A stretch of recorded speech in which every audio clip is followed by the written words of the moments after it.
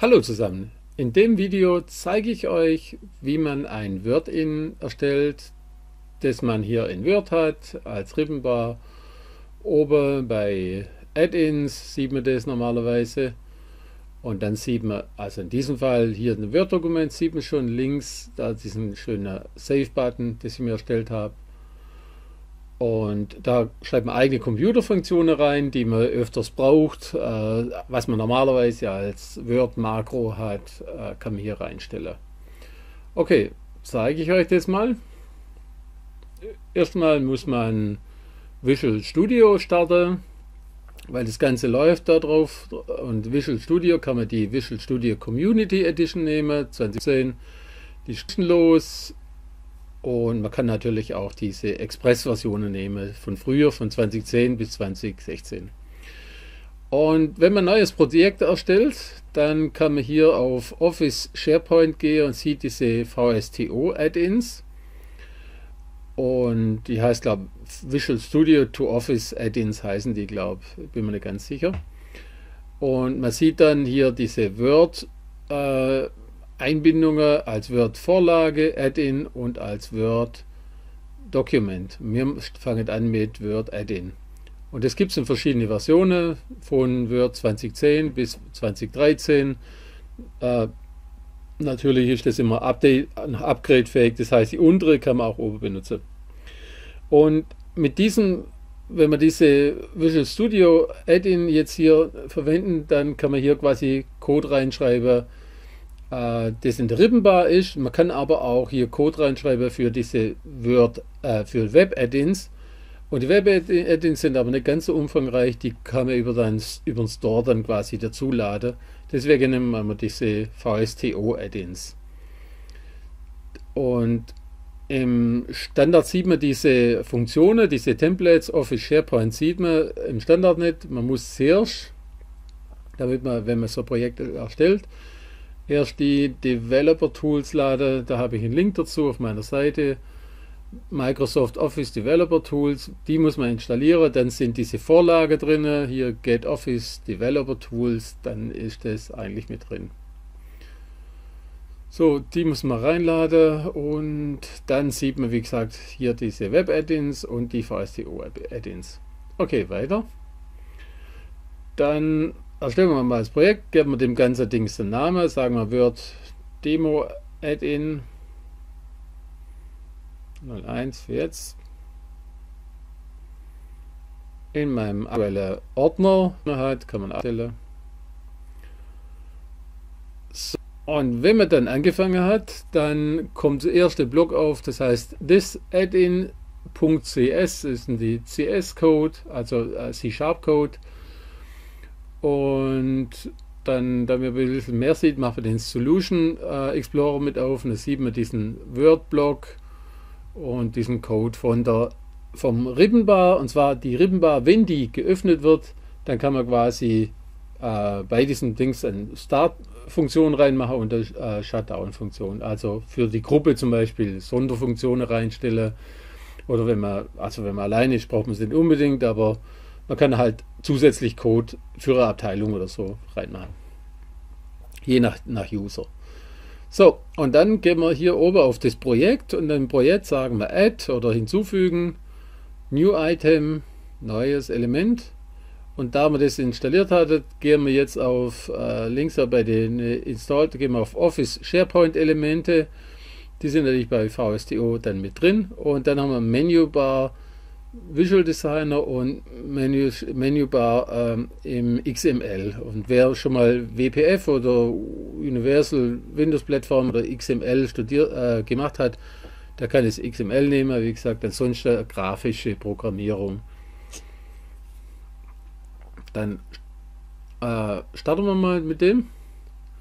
Jetzt sieht man gleich so eine Rippenbar, die man da drin hat. Die ist grafisch gestaltet und die ist am Anfang blanko. Und jetzt öffnen wir die Toolbox und auch hier haben wir diese Office Ribbon Controls als Gruppe drin.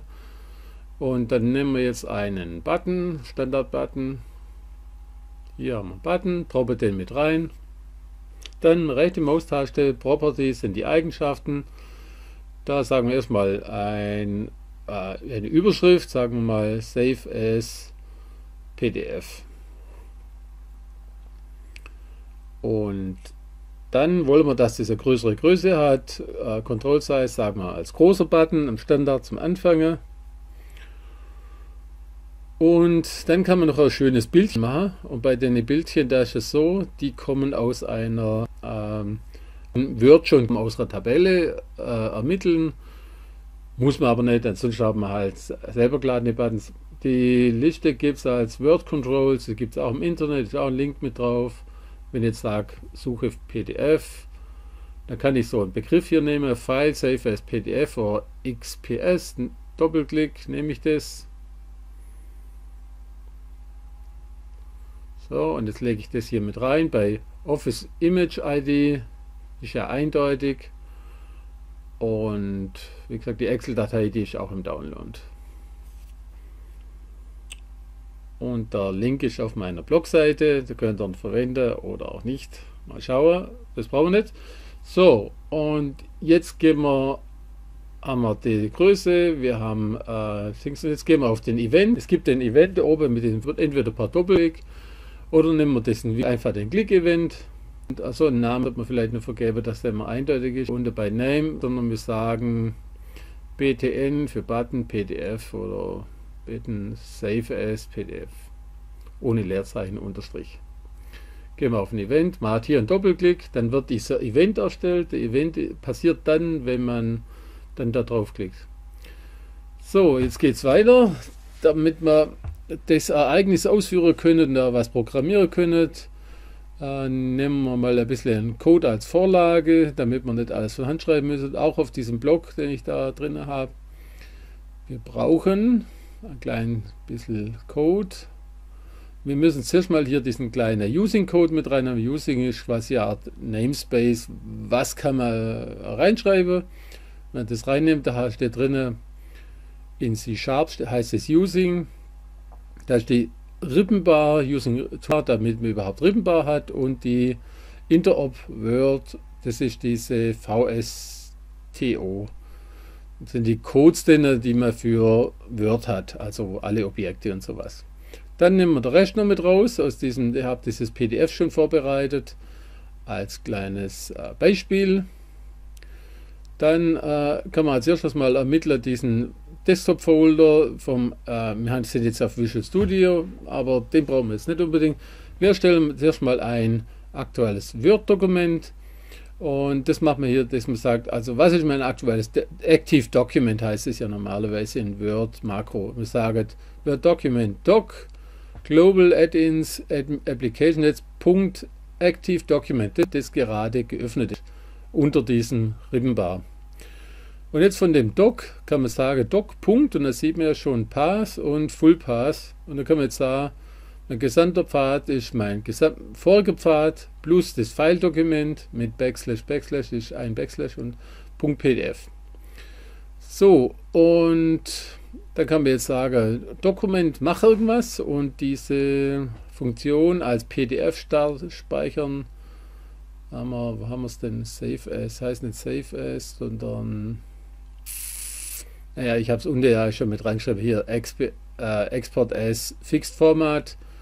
Das heißt auch Open Document oder als, wie gesagt, hier PDF. Hier das mit dem PDF rein. Ich habe es halt auf die Klammer, diese ganze äh, Parameter.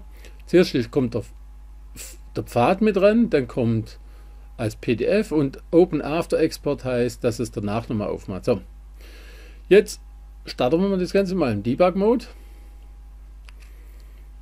Ganz oben einfach Start drücke. Es geht Word gleich auf. Dann machen wir ein neues Word-Dokument auf. Irgendeins. Okay, Word Demo mit Add-ins. Und jetzt speichern wir das einmal. Weil damit man es als PDF speichern kann, muss man erstmal normal gespeichert haben. Gehen wir auf den Desktop, auf meinen Demo-Ort, meine Demos drin habe, Word. So, da speichern wir es mal rein. Und jetzt gehe ich oben auf Add-ins und Add-ins habe ich jetzt meinen Save to PDF. Der ist schon zweimal da, weil ich vorher schon mal programmiert habe und der macht das nicht vom Rumpf an, kann er auch, aber in dem Fall fügt es einfach, attached es nach rechts hin.